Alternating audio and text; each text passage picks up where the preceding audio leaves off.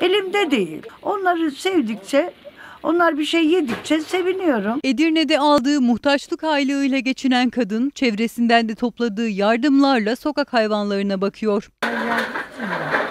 Ayrı, ayrılığında.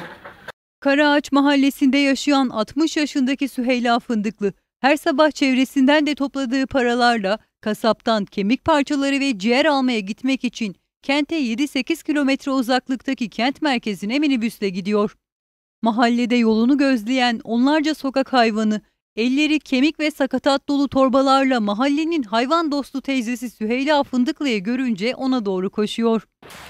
Gel gel. Her gün aksatmadan gerçekleştirdiği beslemenin ardından Fındıklı evinin yolunu tutuyor. Hayvansever kadın yaklaşık 10 yıldır mahalledeki kedi ve köpekleri beslediğini belirtti. Uykudan kalkıyoruz. ilaçlarımızı içiyoruz. Eh düzel, düzeldiğim an zaten. Saat 12 olduğu zaman biraz iyi hissedersem kendimi yavaş yavaş gidiyorum çarşıda. Ondan 1 lira, ondan 500 lira. İstiyorum Allah razı olsun veriyorlar. Alıyorum onlara veriyorlar kemik. İşte duraktan buraya kadar dağıtıyorum. Onlar doydukça benim hoşuma gidiyor. Biraz iyi hissediyorum kendimi. Benim kimsem yok Allah'tan başka. İlk başladığında 5-10 kedi ve köpeği beslediğini, bu sayının yıllar geçtikçe arttığını ifade eden Fındıklı, özellikle kış Ayrı- aylarında ayrı sokak hayvanlarının yiyeceğe ihtiyacı olduğunu vurguladı. Şimdi yaklaşık 60 kediyle 10-15 köpeği her gün doyurduğunu anlatan Süheyla Fındıklı, yaşamını devletten aldığı muhtaçlık aylığıyla sürdürdüğünü söyledi.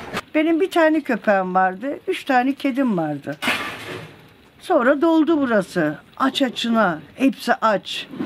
Artık köpeklerin tüyleri dökülüyor açlıktan. E ben hasta da olsam kıyamıyorum. Öleceğimi de bilsem kıyamıyorum güzel oğlum. Elimde değil. Beceremiyorum. Onları sevdikçe, onlar bir şey yedikçe seviniyorum.